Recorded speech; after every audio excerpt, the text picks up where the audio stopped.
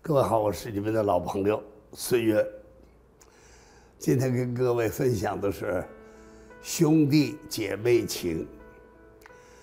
呃从前很早很早以前有一本书叫小妇人。哦看起来我觉得好好啊。你看看这姊妹几个多好啊，爸爸妈妈等等等等。但是我们再看今天的社会里头。好像这个家庭的这个，这个这个这这个磐石啊，慢慢的松垮了，哎，兄弟姐妹之间的这种感觉，好像逢年过节遇到特别的事情，大家聚在一起，未必都是心连心，不再像是从前了。从前在中国来讲的话，这个兄弟之情也是非常非常的重要。有的时候我们看到的，哎，好像。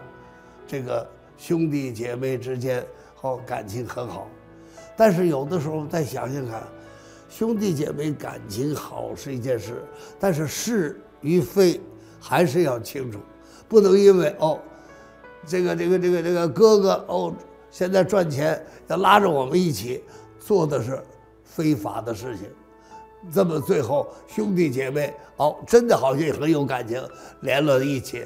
大家做的都是不对的事情，所以我觉得兄弟姐妹情啊，是一个同胞的情感。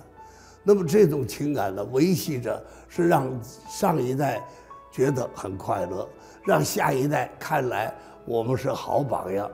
但是如果做一些事情不是一个对的事情，就算你再好的感情，为的目的是一个利，是一个欲。那我觉得，我们自己好好想想看，不能够给孩子们做坏榜样。对上一代，我们也应该有一个正常的交代。人都希望自己很富裕，很发财，呃，很好，各方面都没有缺乏。但是不见得每个人都能这样，有一些事情，不见得都能做得到。但是在做不到的情况之下，我们自己还是要维持着有节制，该做的做，不可以做的拒绝做。